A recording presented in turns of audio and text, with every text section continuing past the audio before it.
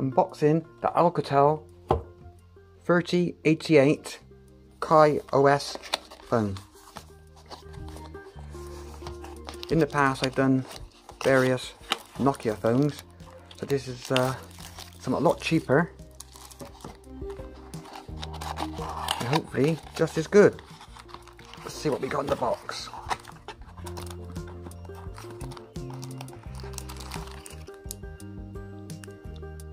EE is what it is.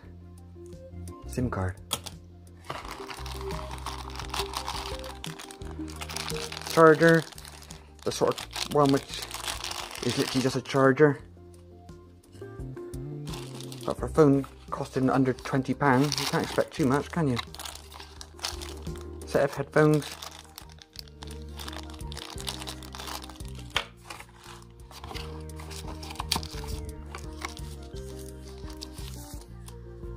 Good old battery.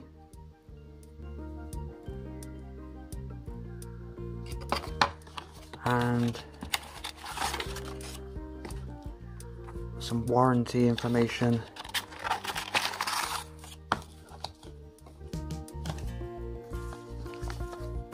And a quick start guide. Let's have a quick look then. Seems very light. Yeah, I like the feel of that. One screen protector. Have a look inside.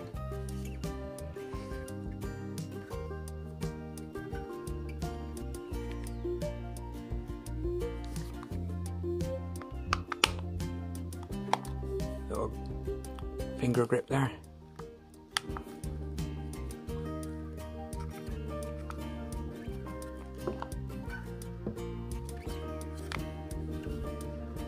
To take some of this out. Ah, there we go. There you go. Nano SIM card. Storage space there for up to 32 gigabyte.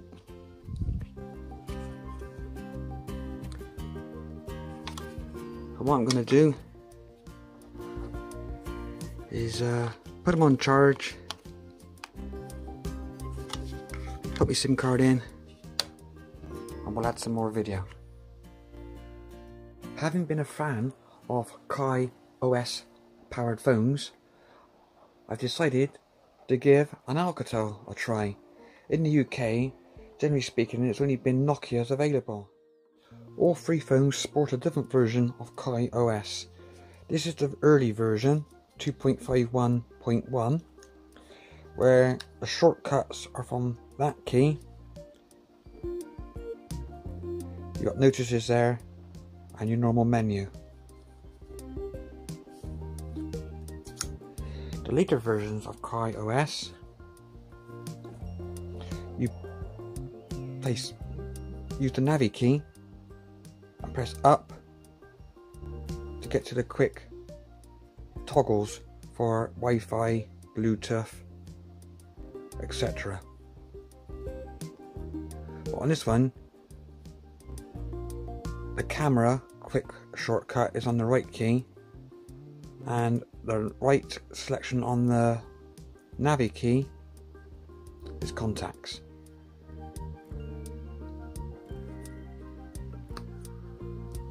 Plus this one it's the same up for shortcuts. Contacts is on the right hand side. Right hand click on the Navi key is the camera and notice as usual on the left. The home screen has a new layout where if you click left you've got a quick selection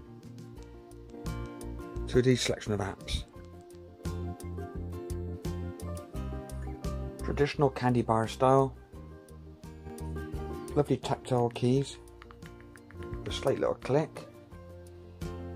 The Navi key is very nice. Front forward facing speaker. camera with LED flash, also a torch. These can be a bit fiddly on the keyboard. let's see which one boots the fastest. So let's get ready. So that one you've got to press that button. That one, that one.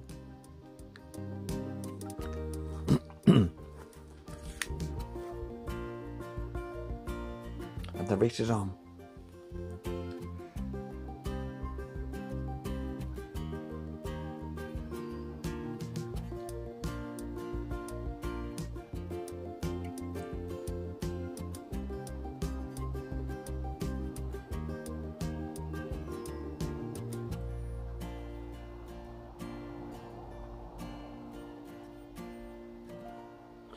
The Alcatel certainly wins that.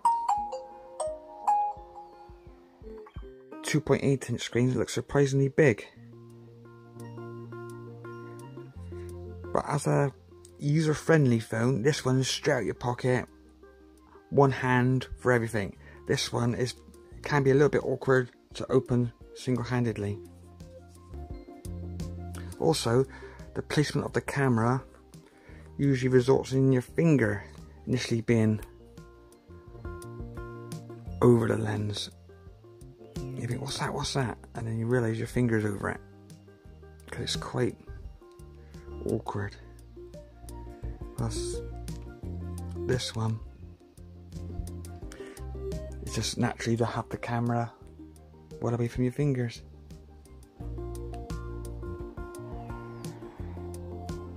The advantage of this one over the other two as well, that front fa facing speaker is much better when you're listening and watching YouTube clips or listening to music.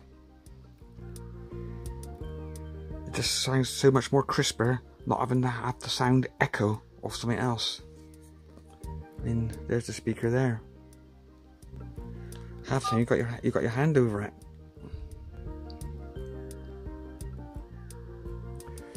The YouTube versions on this are both the same, but the early version, if you want to watch a clip full screen, you, you have to select it.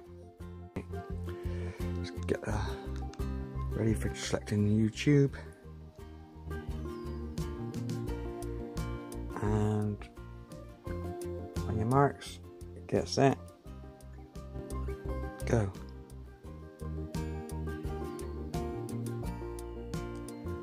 I said the Alcatel slightly had it, but not really worth worrying about.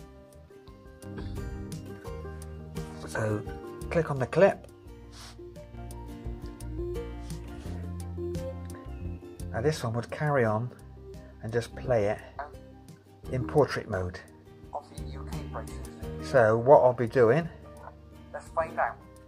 This one, You've got to press that button there for it to do that.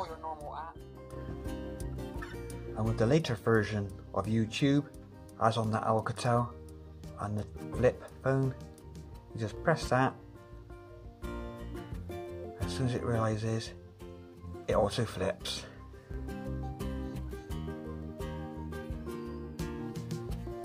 Let's check out browser performance. Now both of these are on the same Wi-Fi network.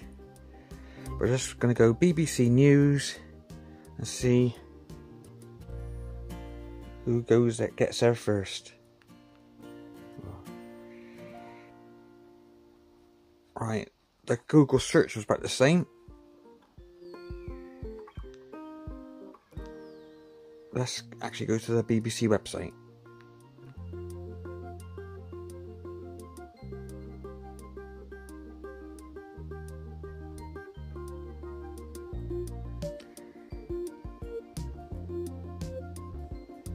Whilst neither very fast, seeing that they're both 4G, the Alcatel nailed it.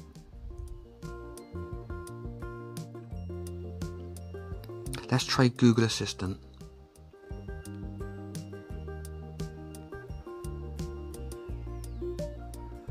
Open YouTube.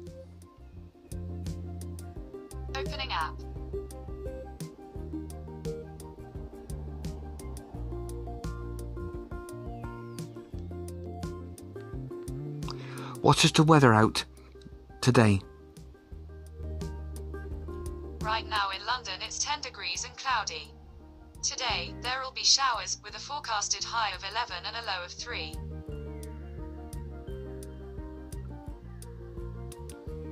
It seems to get a sp speech recognition first time. Only I'm not in London. Available apps.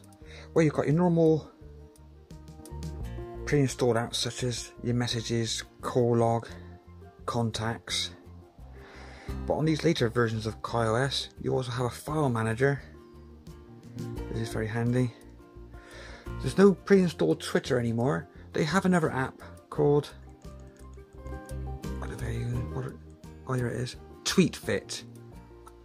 I find it to be rubbish to be honest, but you might find it to be good. So I logged in through the browser, then pinned it to the home screen. Facebook, your music app, obviously your Google stuff now, YouTube, Assistant, Maps. Maps are very good for working out routes and as for pedestrians, but it's not a full-blown car sat nav, which you wouldn't really expect that on a feature phone, would you? Browser, camera, another Google search, a photo gallery, calculator, well, sorry, calendar, which can be synchronized to a Microsoft account or Google. Calculator, videos what you filmed on your own phone, voice recorder, note taker, email client for Gmails and Microsoft or Yahoo, convert unit converter, very nice. PDF reader works very well. Just fun stuff I downloaded. A frequency generator, test your own ears. Sun compass. I don't know about you, but this game reminds me of another game I used to play years ago. Probably just me.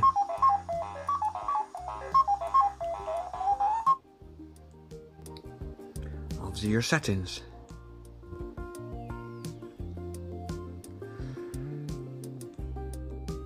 Right, let's have a look at the store.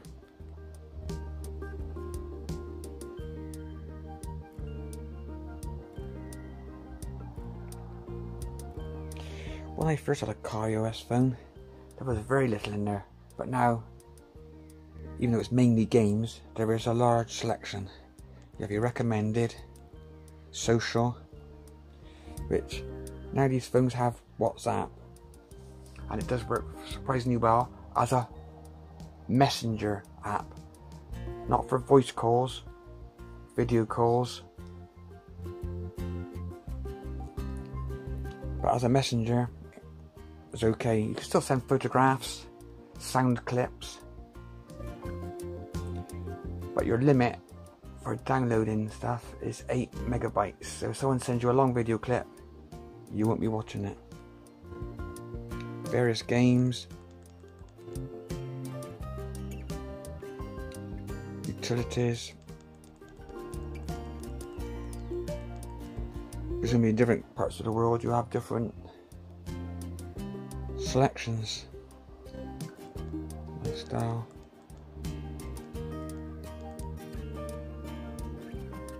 News. Very good. Like the QR reader, which I downloaded, that works surprisingly well if the QR is of a decent size because these cameras don't have a sharp focus. So it needs to be a big QR. The news app.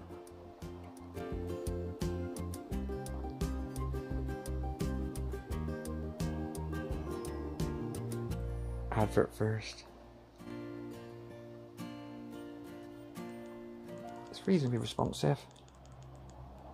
In fact, this phone is much more responsive than the other two I've had.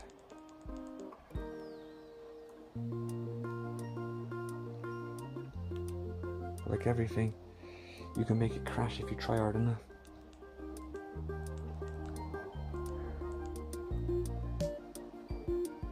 Calendar can be synchronized to Google or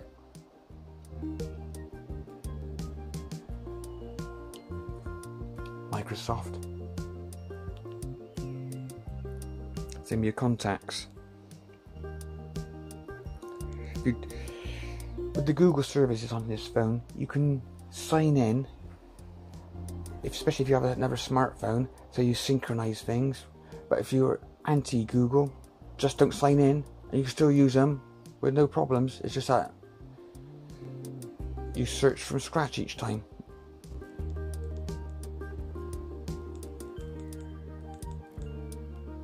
The music player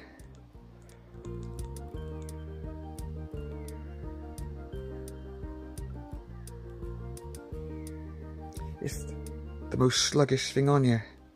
But it's probably because I got so much music on a 32 gigabyte memory card.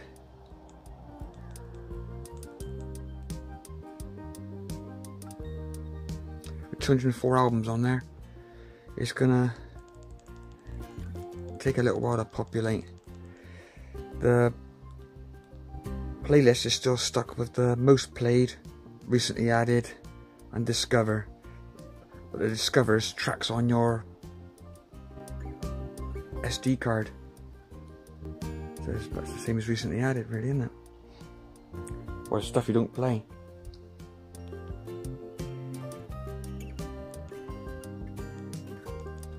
FM radio works fine. This did come with a pair of very cheap headphones that you saw in there earlier on. The games are quite fun.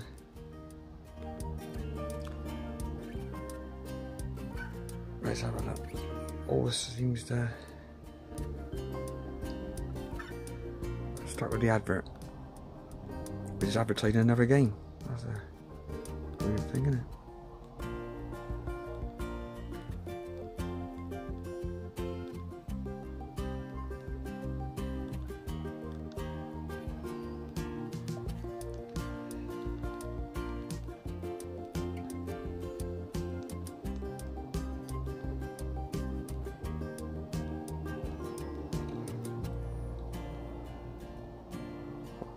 They're all free, so you can't really moan, can you? I did miss not having Snake on this phone. But equally, I didn't miss having no bloatware which I couldn't remove. The Nokias do have some demos of games which don't even run very well and you cannot remove them. Whether it's because these run on Qualcomm processors.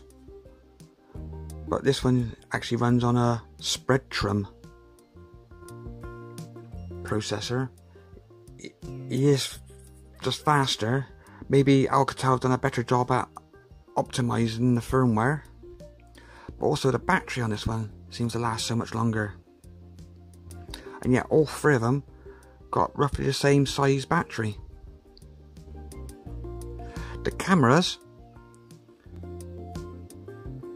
all are 2 megapixel. But I'll show an example of the pictures where the colour on this one is more true to life. But these maybe give a more pleasing result. So faces look pinker. But this one everything seems to be when you photograph it, it seems to be closer up. So both have their advantages, but you're not buying these things for cameras anyway.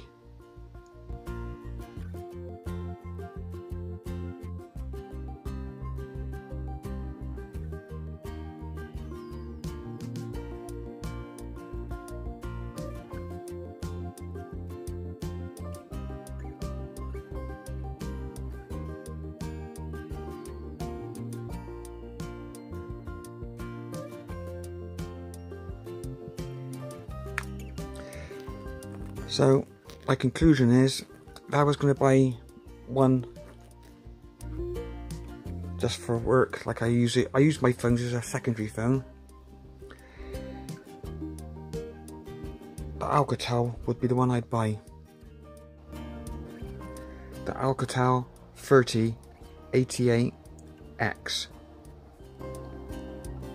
I think the X stands for the European market.